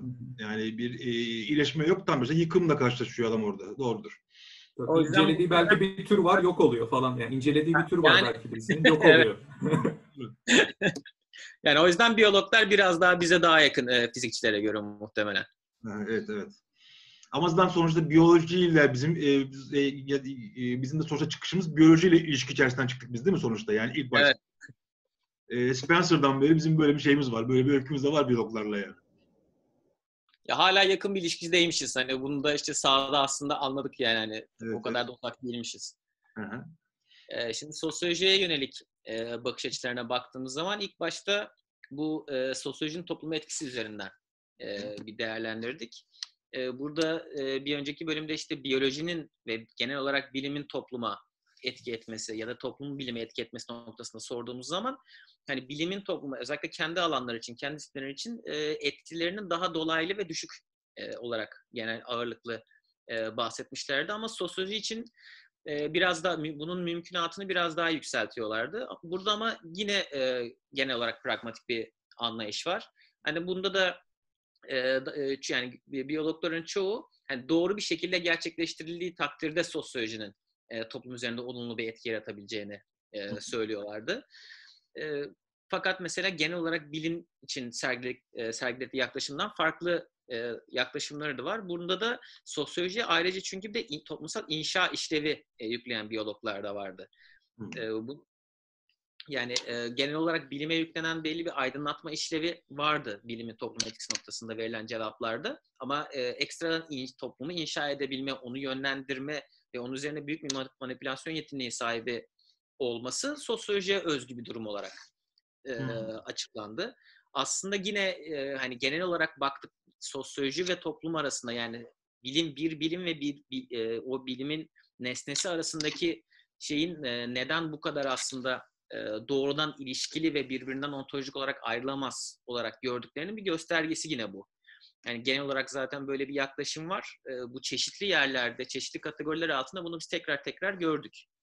Peki şeyi, e, şeyi söyleyebilir miyiz Taylan? E, eğer yani e, sosyolojiden böyle bir şey bekliyorlarsa yani toplumu değiştirebilme potansiyeli ta- taşıdığını bu durumda e, sosyolojinin e, toplumsal değişime ilişkin e, öngörülerde bulunabileceğini düşünüyorlar mı? Yani öngörü e, ne mümkün olduğunu düşünüyorlar mı? Dersler Orada yani bilimsel bilgi üretme noktasında sosyolojiyi nasıl gördüğümüzü sorduğumuzda aslında ona birazdan gelecektim. Yani orada aslında enteresan cevaplar var işte. Hani bu biraz daha e, biyolojiye, daha doğrusu doğa bilimlerine öykünmesi durumunda daha böyle nicel Hmm. e, çalışmalarla mesela bunun olabileceğini söyleyenler vardı. İşte hani doğru bir şekilde yapılması dedikleri o aslında. Hani Hmm. kendileri zaten metodik olarak doğru olanı yaptıkları için e, normlar açısından hani sorgulanmaz bir şekilde e, e, hani öyle bir dertleri yok. E, ama bizim için ekstradan böyle bir çaba sarf etmemiz gerekiyor. Hidayete ermek için bir şeyler yapmamız gerekiyormuş gibi. Yani bir, biraz öyle hani olacaksınız siz de hani gibi bir yaklaşım aslında. Şeyde bu daha netti değil mi Ozan? Ee, fizik Evet. sahasında bu daha netti fizik, fizik sahasında. Tabii tabii şey diyen vardı yani belki sizde de bizdeki e, Newton devrimi gibi bir devrim olacak ve hani e, daha iyi öngörülerde bulunabileceksiniz diyen vardı yani. Tabii e, sosyoloji bayağı e, bilim öncesi e, bir yere e. Hı Hatta ben onu ben onu böyle esprili bir şekilde şey yapıyordum. E, başka yerlerde konuşmalarımda ifade ediyordum. Şöyle söylüyor fizikçimize mealen. E, toplumun bilimi olur mu diyorsun? Tabii ki olur ama bu sizin yapacağınız iş değil diyor bize. Aslında. Ya bizdeki argümanlar o kadar sert değil. Değil, Ya değil. çünkü kendileri de e, şeyi noktasında işte o uzam zaman bağımlılığı noktasında işte o açık kapalı sistemler ya da geçli geçiş nesne nok- noktasında hani fizikte fizikçiler kadar net davranmıyorlar zaten. Hani belli bir şeyin farkındalar onlar da. Hani belli bir müdahaleyetinlerinin olduğunu e, farkındalar. O yüzden bu kadar hani yüklenme noktası da bu kadar yüklenmediler bize. Hani ki biz e, bu, bu şeyleri, bu tip soruları özellikle sosyolojik bilginin yapısı noktasında hani değişik şekillerde tekrar tekrar sorduk. Yani doğrudan sorduğumuzda zaten hiçbir şekilde doğrudan e, yani hiçbir şekilde demeyeyim de bir iki kişi sadece doğrudan e, cevap verdi hani olumsuz bir şekilde. Ama genel olarak baktığımızda tabii şöyle bir şey var işte hani e, işte bilimsel yöntemlerin doğru kullanılması. Hani dediğimiz gibi yine o aynı mevzu. İşte örneklemin doğru seçilmesi gibi. Orada kafalarında genelde nicel çalışmalar var. Ya bunun nedeni de şey tabii hani genelde bununla çok daha fazla karşılaşıyorlar. Hani e, öğrenciler özellikle hani Google üzerinden anket üretebildikleri için hani Hı. dersleri için bile yani bunu sürekli yaptıkları için ve çok fazla karşılaşıyorlar. Yani eğitim bilimcilerle çok fazla karşılaşıyorlar. Onlar sürekli anket üretip dağıtıyorlar. Hani aslında bir sosyolog açısından tabii ki as- aslında o çalışmaların bilimselliği çok daha zayıf. Yani evren örneklemlerinin falan alınma sistemleri çok daha zayıf aslında bilimsellik açısından. Ama sonuçta için içinde matematik olduğu için yani belli bir e, kişi, belli biyolog e, hani bunu daha mantıklı görüyordu hani aslında bu şekilde yapılsa. Peki, diye e, daha mantıklı görüyorlardı. İlginç bir durum var. Yani e, sosyolojiyi eğer e, nicel bir e, araştırma etkinliğiyle tanımlıyorlarsa o zaman bizim e, bizim onlarla yaptığımız işi tanımlıyorlardı? Yani değil mi ya bizim de sonuçta biz biz biz, biz, biz bir saha çalışmasına e, yapmak için onlarla görüşmeye geliyoruz mesela. Mesela bunu, bu, bunu nasıl kavruyorlardı? Ama şimdi onun fikri değerli hocam yani öyle demeyin. Muhtemelen öyle bakıyordur. Yok onda e, şöyle bir avantajımız vardı bizim. Biz e, TÜBİTAK'ın verileriyle gittiğimiz için aynı Hı. zamanda Web of Science'ın falan verileriyle gittiğimiz için biz adamlar yani gittiğimiz kişilere dedik ki e, yani siz Türkiye'de yayın ve atıf sayısında ilk 8'desiniz. Biz bunu biliyoruz. Yani elimizde niceliksel bir veri var. Yani sonuç olarak. Çalışma niteliği olabilir ama elimizde ni- yani niceliksel bir veriyle gittiğimiz için açıkçası bizim yaptığımız çalışma yani o e, klasik nitel çalışma olarak görmediklerine eminim yani. Hani onu vurgulayan e, biyologlar da oldu. Ha bak Evet. böyle yapmışsınız ne güzel falan e, şeklinde söylemler oldu. Aslında orada niceliksel gerekliliği onlar adına sağlayabilmiş olduk biz bunu yaparak. Hı hı hı hı hı. Devam edelim. Genel olarak nesnellik konusuna baktığımızda tabii nesnellik konusunda e, şeyi bu sosyolojiyi genel olarak daha tabii değer yüklü, e, kavram bağımlı e, olması noktasında zaten tabii ki bir e- eleştirel yaklaşıyorlardı. Hı hı. E, bu da mesela işte e, işte bir kısmı bunu nicelle hani e, ge- halledebiliriz noktasında. Bir kısmı doğru yöntemle belki yaparsınız noktasında. Bir kısmı da hani bu bu kadar hani sosyolojinin yapabileceği e, şeklinde yaklaşıyordu. Yani dolayısıyla aslında hani şey önerisi vermiş olmaları da doğa bilimlerine öykünüp aslında doğru çalışma yapabileceğimizi e, önermesini yapanlar da aslında bizim e, bayağı bir aslında geçmişe dönmemizi sağlıyorlardı. Hani sosyolojinin ilk e, başlarda yapmaya çalıştığı o doğa bilimlerine öykünüp kendi e, varlığını e, ilan etmeye çalıştığı dönemdekine aslında geri dönüş oluyor. Yani bizim için aslında gayet olumsuz bir durum oluyor tabii o. Son dönem çalışmalar da aslında yani çok farklı bir şey önermiyor. Dış, e, dışarıda da Amerika'da mesela sosyobiyolojinin kurucusu. Ben çalışmıştım yüksek lisans hocam bildiğiniz gibi. Şey Edward Wilson da aynısını söylüyor yani. İşte e, doğa bilimlerine yaklaştığımız, yaklaştığı kadar bilimsel, yaklaştığı kadar başarılı bir bilim olarak sosyoloji anlayışı hep var maalesef. Ama bu e, dediğimiz gibi şey değildi hani böyle büyük bir çoğunluk bunu e, bu şekilde yaklaşmadı. Hani bu belli bir oranda aldığımız bir şeydi. sosyoloji bir biyoloji kısmına gelecektim ama şimdi de gelebilirim. Hani öyle bir tartışma yok. Hmm. Biyologlar arasında yani biz tartışıyoruz kendi kendimize biz tartışıyoruz yani. Hani bilen iki kişi vardı. Hani ne olduğunu anlamaya çalışıp yorumlar yapanlar vardı. e, kendi alanlarından yola çıkarak. İşte o bitki ve hayvan sosyolojisi üzerine olan aslında kendi alanları ilgilendiren çalışmaları anlayan oldu. Biz ekstrana açıklama açıklamadık zaten. Hani böyle bir alan var biliyor musunuz, bilmiyor musunuz şeklinde konuştuk. Hani anlayan da genel olarak olumsuz yaklaşıyordu ve bu şekilde bir indirgemeciye de karşılardı. Yani Evet. o tamamen bizim kendi adımıza yaptığımız bir tartışma e, da yani Türkiye'de öyle bir tartışma yok. evet. Mesela e, sosyobiyolojinin e, anlattığı türden e, indirgemelerin tehlikeli olduğunu söylüyorlardı mesela biyologlar. Bunun e, bunun mesela tehlikeli bir indirgeme olduğunu bize biyologlar söylediler. Mesela bu ilginçti. Yani çoğu dediği gibi şey bilmiyordu. Yani böyle bir böyle bir girişim olduğunu bilmiyor biyologların çoğu. E, bilenler de çok büyük ölçüde e, olumsuz yaklaşıyor. Yani, yani böyle Evet. bir girişime olumsuz yaklaşıyor. Yani Ozan'a verilen cevap gibi bir cevap bizde yoktu. Hani bu şekilde işte indirgemeci bir şekilde aslında bilim yapabilirsiniz noktasında e, bir cevap yoktu. Onunla karşılaşmadık. Yani biyoloji alanı o konuda biraz daha işte dediğimiz gibi yakın bize. Hı hı. Yani Şimdi e, top- şey, mesela şeyde de aynı şey geçer değil mi? Yani mesela e, komşu anlamda bir e, bilimler hiyerarşisi e, fikri de e, fizikçilerde daha belirgin. Mesela fizikçilerde yaptığımız sahada daha belirgin. Kaz- kaz- kazınca çıkıyor yani çıkıyor. bilim olduğunu kabul ediyor fakat hani kendi koydukları bilimsellik kriterleriyle karşılaştırarak değerlendirmelerini istediğimde yavaş yavaş e, ya bir hiyerarşinin varlığını hissediyorsun kendi Hı. kafalarında. O biyolojide Hiyerarşi- biraz daha belirsiz. Tekrarlanabilirlik e, falan gibi mevzularda ortaya çıkıyordu yavaştan. Tekrarlanabilirlik, sistematiklik vesaire evet yani. Nesnellik meselesi işte Öngörü.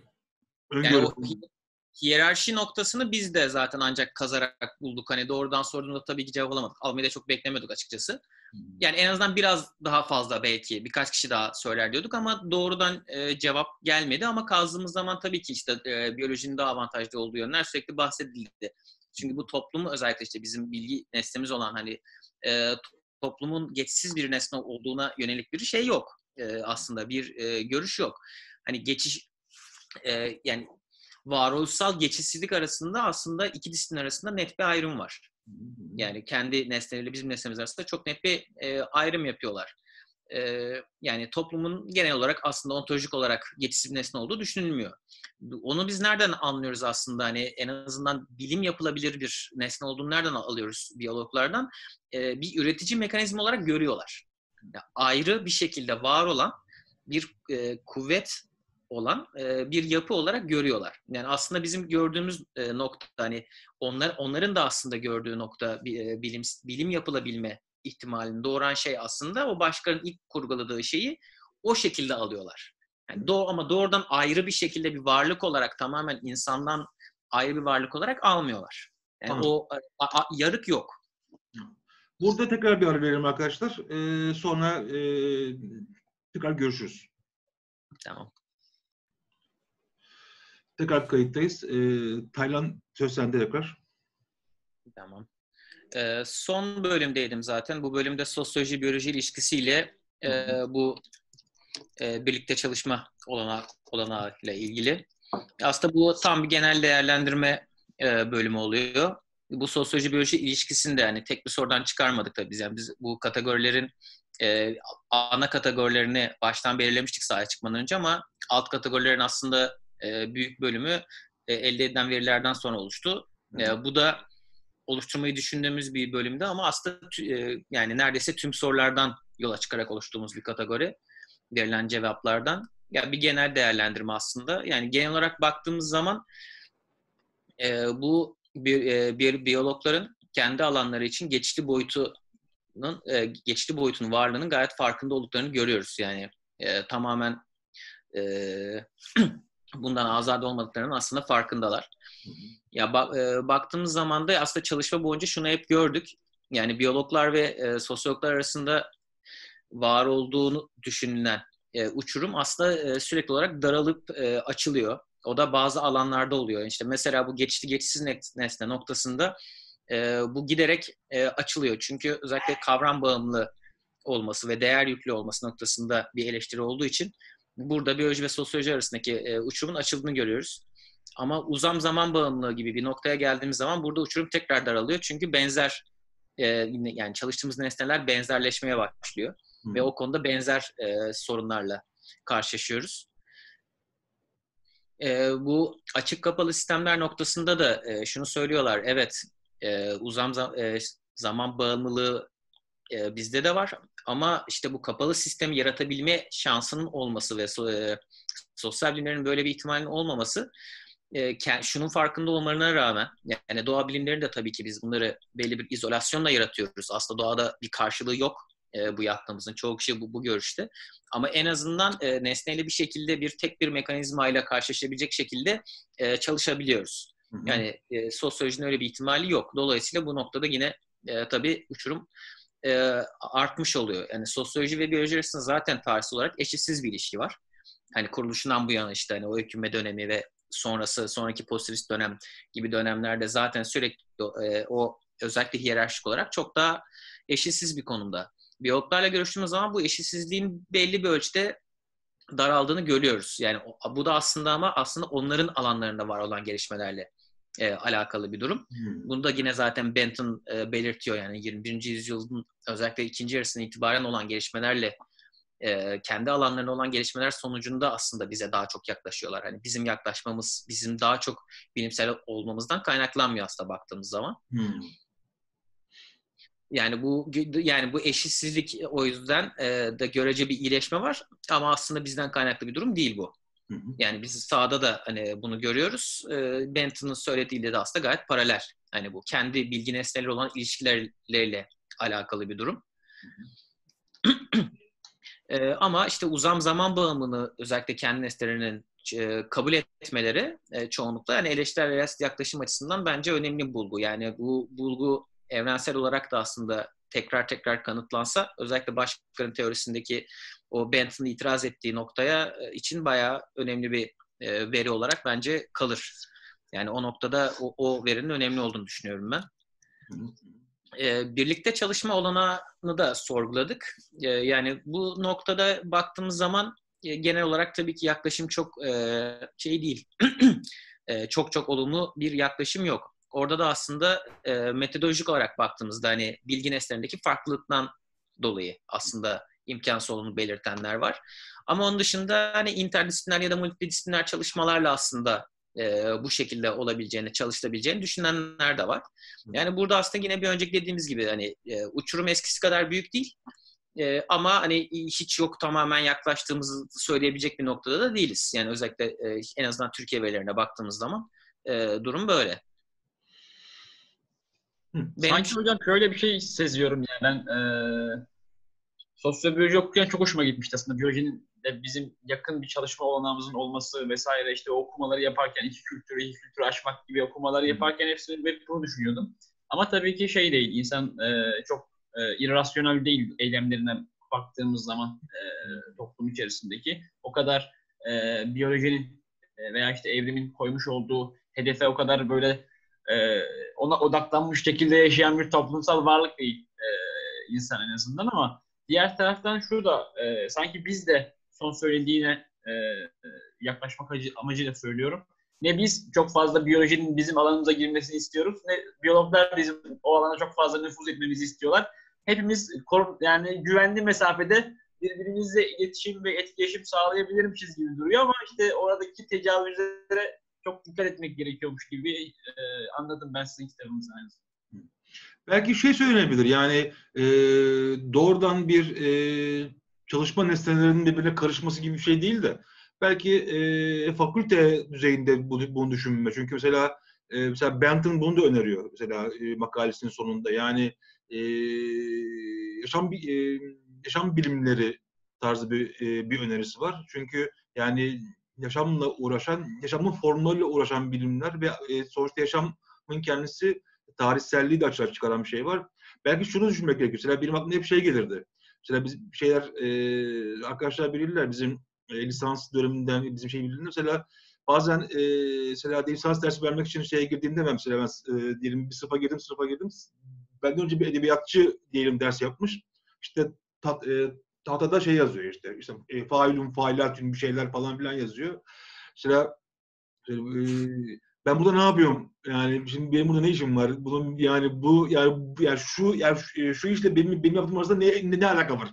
E, tarzı bir duyguya çok düşmüşlüğüm oldu. Yani e, işte o e, belki şu şey tartışması tam da bu şeyde bağlayan bir şey. Haftaya bunu da konuşabiliriz. Yani e, şu iki kültür tartışmasının bir tarafı da yani e, gerçekten sosyoloji, sosyoloji, e, antropoloji, psikoloji e, bunlar mesela e,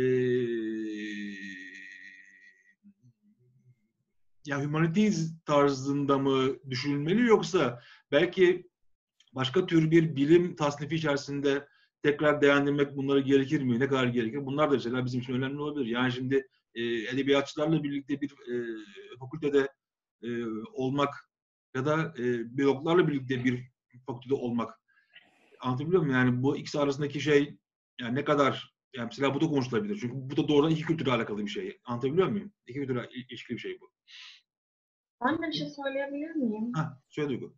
Ya mesela şimdi diyorsunuz hani feylatün feylim görünce hani kendimi garip hissediyorum ama şu da var. Hani öyle hisset, şu an öyle düşündüm. Hani bir laboratuvar görünce mi kendimizi rahatsız edeceğiz acaba? Yani biyoloğun çalıştığı bir laboratuvar bizi ne kadar bilmiyorum Evet. bağlantılıyız bu noktada. Bir de şöyle bir şey, iki tür diyoruz mesela. Şimdi doğa bilimcilerin işte sinemaya gitmesinden bahsettik. İşte kitap okuyorlar dedik ama e, hani e, iş sosyolojinin yöntemine gelince yine sosyalist bir yöntemin olması gerektiğinden bahsediyorlar mesela. Yani hani o iki kültürün e, nasıl diyeyim yani bilimler, bilimlerin yöntemi açısından hani ayrıştığını çok ayrıştığını düşünüyorum ben yine. Yani evet özel hayatlarında belki bu tarz yönelimleri var ama e, sosyoloji pozitivist bir yöntemi, yöntemi benimsemeli diyorlar. Yani. Bana bana şey gibi geliyor. Yani mesela e, mesela senin saha deneyimin de orada işe yarayabilir Duygu. Mesela e, temel bilimcilerde olmayan bir ya çok belirgin olmayan bir yatkınlık e, mesela tıpçılarda çok belirgin e, ortaya çıkabiliyor mesela. Mesela tıpçılar daha e, uygulamalı çalışan mesela senin sahan oydu. E, master tezinde e, sen e, hekimlerle saha yaptın. Mesela e, bu tarz bir nasıl diyelim daha e, üstenci, daha üstenci bir pozisyonlanmalı. Mesela e, biyolog, biyolog veya fizikten ziyade tıpçıda daha çok belirgin olarak açığa çıktığını belki söylemek daha mümkün olur. Ne dersin? Yani evet olabilir. Doğru. Bu da aslında ilginç bir, ilginç bir veri. Yani mesela e, temel bilimle uğraşan, bilimsel yani bilimsel etkinin kendisiyle uğraşan e, şeyde e, doğa bilimcide her yukarıda bir ihtiyat e, oluşuyor. En azından bir e, ihtiyat alanı e, oluşmaya başlıyor. E, fakat tabii daha böyle e, operasyonel e, düzeyde çalışan, bir- bir- biraz, tabii, tıp aslında burada çok e, özgün bir şey, e, özgün bir yerde. Çünkü malum e, tıpçılar kendilerini ısrarla e, bilim olduğunu iddia etme, yani bilim olduklarını iddia ediyorlar. E, tıpçılar ki orada bir sıkıntı var. Yani sonuçta e, başka bir yerden bakarsanız aslında e, sayı tesisatçıyla arasında çok ciddi çok ciddi bir fark yok bir yandan baktığında. E, çalışması aksayan mekanizmayı tekrar çalıştırmaya dönük bir e, şey, e, uzmanlık. Ha mekanizmanın şeyi farklı. Mekanizmanın e, bilgisi tabii çok daha komplike. Daha çok daha komplike bir mekanizma değil mi? Ama yani sonuçta e, mesela buradan doğru mesela e, bakıldığında mesela böyle bir şey söylendiğinde aslında e, bilimsel bir etkinlik değil midir? O da bir tartışma konusu tabii e, yapılabilir e, tıp açısından. E, ama bu tarz bir şeyle karşılaşmamız da var evet. Yani sahada bu tarz şeylerle de karşılaşabiliyoruz. E, senin sorun bitti mi Taylan? Aha, evet. Ha. Şeyi belki e, ha onu e, haftaya konuşuruz dedik. Tamam yaşam bilimleri meselesini biraz düşüne, e, düşünelim çünkü o da oradan bağlantılı. E, o zaman sen ona da şey yaparsın. E, hazırlık yaparsın. Yani e, yaşam bilimleri tartışmasını da yapalım. Yani böyle bir şey mümkün olabilir. Nasıl mümkün olabilir? E, bir yandan bu tartışma olsun. E, Taylan e, şeyi belki bir hemen hızlıca anlatmak istersen e, saha deneyimleri ilişkin yani böyle bir sahaya diyelim daha sonrasında diyelim e, başka araştırmacılar çıktıklarında nereye dikkat etsinler, ne yapsınlar? Böyle bir şeyimiz var mı bizim? Böyle bir e, önerilerimiz var mı? Deneyimlerimiz var mı? Ya sah- sahaya dair aslında söyleyebileceklerimiz var. Ya birincisi bu nitel bir araş- araştırma olmasına rağmen Yani metodolojik açıdan e, nicele bayağı yakın bir araştırma oldu. Yani neredeyse evren örneklemi olan e, bir çalışmaydı. Yani kapsayıcılık açısından da tabii çok yüksekti çünkü alanımız çok dar. Hı hı. Yani e, yani en azından mesela şeyde de- de- dediğimiz gibi mesela o TÜBİTAK verileriyle gitmiş olmamız o sizin sorduğunuz sorunun cevabıydı. Yani hani bir şekilde bu yapılan çalışmayı kale almalarının en büyük e, etkilerinden bir tanesiydi. Evet, Yani demek bu bir şey, demek bir şey diyebiliriz. Ya doğa bilimcilerle diyelim sağ yaptığınızda bu tarz bir e, nicel veriyle gitmeniz sizin e, inanılığınızı ve güveninizi arttırıyor doğa bilimcinin nezdinde. En azından bu bir şey olarak söylenebilir. Evet.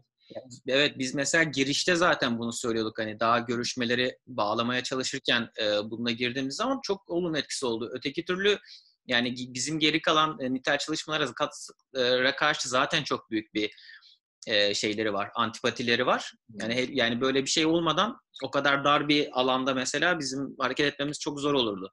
Hı hı hı hı. Bir de sürecin de etkisi oldu muhtemelen. Ona Ee, ben o tedirgin zaten. dönem. Türkiye'de ne zaman sahaya çıkılsa bir şey olur zaten yani. yani ben şimdi mekansal hareketlilik çalışacaktım mesela. Hadi çalışayım yani. Ama TÜBİTAK olmasaydı muhtemelen e, görüşmek istemeyebilirler miydi acaba mesela? Hani o şeyi de yapınca tedirgin olmak açısından. Ya bence mümkündü çünkü özel, özellikle bazı üniversitelerde zaten gitmişiz e, ve yani 15 Temmuz falan mevzu da olmuş. Bayağı akademisyen atılmış. E, gittiğimiz yerde 5 kişiyle görüşeceğiz diyoruz. 8 kişi var. Yani en fazla 3 red alabiliriz. Yani Evet. böyle bir durum da vardı. Hani e, şey çok dar olduğu için, e, alan çok dar olduğu için hani bayağı dikkatli davranmak zorundaydık. Yani o yüzden zaten öyle e, mesela bir şey yapmadık. İşte e-mail ile yollamadık. Doğrudan telefon açma yoluna gittik. Çünkü doğrudan e-mail'e red alma ihtimalimiz daha yüksek ve yani dediğim gibi bazı alanlarda zaten 3-4 red e, yani an- e, şeyi bitiriyor. e, Örneklemi e, bitiriyor. Ulaşamıyorsunuz istediğiniz sayıya. Demek ki bir diğer deneyimde e, telefonla ilişki kurduğunuzda e, kabul alma olasılığınız daha yüksek. Bu yani bunu denemekte fayda var. Yani şey yerine, mail yerine e, telefonla arayıp konuşmakta fayda var. Yani ayrıca özellikle Taşra Üniversitelerinde yapıldığı zaman doğrudan bölüm başkanıyla görüşmek çok mantıklı bir hareket oldu. Hı hı. Yani biz öyle yaptık. Ee, yani Adana'da e, şeyde Atatürk'te falan zorlanabilirdik e, öbür türlü. De, çünkü o işte dediğim gibi hani şey de sa- sayı da az bir şekilde e, görüşmeyi kabul ettirebilmek adına. Tabii Ama zaman yani- soruyor, birazdan soruyor sana. Yani bölüm başkanının haberi var mı diyor. Zaten, sana doğrudan adam Evet. yani. Mesela. Ya şeyde oluyordu e, yani özellikle mesela bu izin alma mevzusu aslında çalışmalarda yani hem etik bir durum e, aslında önemli bir tartışmada. Şimdi mesela e, bir çalışmada normalde sahaya çıkıyorsunuz işte belli izinler almanız gerekiyor ya da almıyorsunuz. Hani bu sizin aslında kararınız olan bir durum. Aynı zamanda etik kurul da bunu değerlendirir ya da değerlendirmez. Ama bizim sahamızda biz gidip mesela önden şey e, üniversitelerde biz şu, şu çalışmayı yapacağız, e, görüşmek istiyoruz diye bir şeyle git, e, gitsek bu durumda an- anonimliği tamamen ihlal etmek zorunda kalacağız. Çünkü e, herkes e, şeyi bilecek. Komple e, bakanlığın eline gidecek, üniversitenin eline gidecek, rektörlüklere gidecek kimle görüştüğümüz. Ve ot- otomatik olarak o anonimliğin kalmaması e, aldığımız çoğu verinin mesela alam- alamamamız neden olacaktı. Tabii. Yani çünkü- son, son sorduğumuz e, sorular özellikle 5-6 soruyu muhtemelen cevap alamayacaktık. Hı hı hı hı. Hani çünkü her zaman e, elektrikli bir atmosfer zaten hani Türkiye'de sahaya çıktığınız zaman üniversiteler zaten her zaman sıkıntılı artık daha da sıkıntılı. Yani o, o tarz ortamlarda bir de üstüne anonimliği e, şey yapamıyorsanız, vaat edemiyorsanız çalışma yapma ihtimaliniz çok düşük bence şu anda. En azından Mesela- gerçek verileri toplayabilmeniz. Mesela e, anonimlik bu açıdan evet yani yine önemli bir şey olarak karşımıza çıkıyor. Yani anonimliği korumak gerekiyor. Mesela e, bizim araştırmada e, e, üniversitelerin isimleri var fakat e, kimin hangi üniversiteden olduğunu bilgisi yok. Dolayısıyla e, yani görüşmecilerin hangi üniversiteden oldukları da şey e, korundu, gizlendi. Bu da anonimliği e, arttıran daha anonim kalmalarını böylece daha rahat konuşabilmelerini de sağladı. Bu yüzden biraz nitel çalışmalarda bu tür dar sahalarda yapılan nitel çalışmalarda e, anonimliği devam ettirebilmek de e, için ekstra tedbirler almak gerekiyor kim zaman. Ekstra tedbirler. Bulgularda da yani bulguları paylaşırken de çok çaba gösterdik Tabii. anonimliği devam ettirmek için. Çünkü o kadar dar ki hani birkaç cümleyle bir kişiyi doğrudan aslında tanımlayabilirsiniz. Bourdieu'nun var ya öyle bir çalışması üniversitelerle doğrudan kişiye hedef gösteriyor. hani Evet, evet. Onun dışında şeyi söyleyebilirim yani nitel çalışma olduğu için önden o propları yani bir soruya doğrudan bir cevap alamazsak onu e, kazıp daha işte derine inebileceğimiz ekstra soruların da hepsini biz sağdan önden hazırlayıp çıkmıştık. Hı hı. Ya Evet. o da aslında bayağı e, etkili oldu. Çünkü her zaman ne söyle yani ne kadar pilot yapsak da ne kadar basitleştirsek de soruları ne olursa olsun o kişiler bizim alanımızda değil. Yani o yüzden onların hepsinin ya da konuşmaya e, meyilli olmayabiliyorlar. Hepsi görüşmeyi kabul etse de. Yani o propların da önden hazır hazır olması e, bayağı faydalı oldu sahada. Evet bu da önemli bir şey. Mesela e, sondalama dediğimiz hikaye bu. Mesela e, sorular bazen e, çalışmıyor veya e, cevap senin cevabı alamıyorsun. E, açman gerekiyor, konuşturman gerekiyor. Genelde şeye e, güvenme eğilimi e, taşıyor sağcı ama yani e, hepimiz bu diyor değiliz. O yüzden e, yani o anda doğaçlama olarak e, bu iş yapabilme şeyimiz bazen e, bağlanıyor. Yani basit bağlanıyor. O anda e, açamıyorsun konuşmayı. O yüzden elinin altında hazır sorular olması gerekiyor. Yani senin o anda o şeyi aç, e, açmanı sağlayacak. Yani görüşme sırasında eğer diyelim e, çok güdük kaldı, cevap alamadın, istediğin cevabı alamadın veya konuşturamıyorsun veya veya çok daha basit bir şey var, e, anlamıyor seni mesela, anlamıyor. Bazı Selahattin'in verdiği örnek mesela e, uzam kelimesini anlamıyor. Mesela uzam kelimesini anlamayınca bütün sağ, bir yaptığı şey kilitleniyor. Yani cevap alamıyorsun. Mesela bu tarz durumlarda e, konuşmacıyı açacak e, yan sorular, ekstra şeyler vesaireler e, onların önden hazırlanıp e, kağıtta e, önünüzde bulunması şeyi çok daha akıcı hale getirebiliyor. E, sahayı çok daha akıcı hale getiriyor. Bu da yine bir e, önemli bir şey olarak e, deneyim olarak e, yazılabilir. Evet. Yani şu anda aklıma gelen bunlar hani şey varsa sağ sürecine dair bir sor- soruları varsa o Ha, mesela soru varsa acaba- daha iyi olabilir. Yani sizin şey yaptığınız bir soru var mı? Evet, Ben-. Ben mesela eee, şimdi bir yapmış olduğum bir alan çalışmasında küçük bir problem yaşadım hocam. Onunla ilgili yani benzer bir problem acaba yaşadılar mı onunla ilgili bir soru sormak istiyorum. Bir sürdürülebilirlik konusuyla ilgili olarak bir eee, alan araştırması yapmıştık hocam. Eee Filli Boya'ya işte görüşmeye gitmiştim. Oradaki görüşmecilerle aramda bir gerginlik çıktı. Yani eee, çünkü müdür oranın işte müdürü görüşmecileri seçti hocam böyle kendisi seçti. Ha. Yani adamlar hocam işte yani artist artist cevaplar vermeye başladılar. Hani böyle çok görüşmek eee, nasıl diyeyim hani zoraki olarak hani bir şeyleri cevaplıyormuş gibi. Ha. Tabii ben bunun doğru eee, yani doğru olmadığını biliyorum Şeye ama hani işte geçmişler. artık- Ee, savunmaya geçmişler. Niye savunmaya geçmişler? Biraz e, onu anlaman gerekiyor. Yani neden savunmaya geçtiler? Yani Hocam e, şöyle- onu- ha, yani yani e, aşılabilir bir şeyse e, yani o aşılabilir. Mesela e, güvence verebilirsin, ekstra güvence verebilirsin. Yani işte e, anonimlikle ilgili bir sorun olabilir veya başka türden bir e, şey olabilir. Yani bir e, e, savunmaya geçtikleri aşikar. Yani savunmaya geçmişler. Belki o sebepleri Evet hocam. Yani Yani e, şöyle ya aşılabilir bir şeyse onu aşmaya dönük mesela şöyle bir yol izledim. Mesela biz e, Tayland'la öyle bir sahi, sahi şey yaşadık. E, mesela Tayland e, bir üniversitede şimdi lüzum yok ismini ismini vermeye e, şey olmadı. Yani e, araştırmanın şeyi e, e, sorgulandı. Yani sen kimsin, niye geldin, nasıl oluyor falan filan. İşte bu tarz durumda mesela beni aradı, benden yazı istedi. Mesela ben yazı yazdım. İşte e, işte doçent, e, doçent doktor, prof doktor birilerinden şey geldi mi önüne? Yani bu bizim araştırmamızdır, bilmem diye bir şey geldiğinde o zaman mesela ba- bazı kapılar açılabiliyor. Mesela senin diyelim senin diyelim karşılaştığın bu, bu, bu, bu sıkıntıyı mesela danışmanın çözebilir. Anlatabiliyor muyum mesela? Bazı en azından bazı şeyleri danışman mesela bu bir yol. Yani e, kurumsal şeyi kullanmak, kurumsal şeyleri kullanmak bazen e, bazen işe yarayabiliyor. Yani hocam biz oraya e, yani bir referans aracıyla gitmiştik. Gerçekten hani özellikle hani e, şimdi özel şirketlerde üst düzey yöneticilerle görüşmek gerçekten çok zor. Hani özellikle bizim Doğru. öğrencilerin görüşmesi çok zor. Biz de e, araya birilerini işte sokarak artık or- oraya gittik ve görüştük. Tabii oradaki müdür de hocam personeli böyle hani çok affedersiniz ama pazardan böyle domates seçer gibi sen sen sen sen gel doldur şeklinde böyle bir aramızda böyle bir diyalog geçince e, adamlar hocam gerildi tabii. Hani tabii orada da e, ister istemediğimiz bir takım cevaplar aldık. Ben de biraz yani- açıkçası şey oldum hocama. Gerildim yani. Öyle bir durum oldu. Yani çözebileceği şeyler var, çözemeyeceği şeyler var. Mesela bazı şeyler çözülmez. Evet. Biliyor muyum? Yani ha, çözülebilmesine ilişkin koşulları e, sağlamaya çalışıyorsun.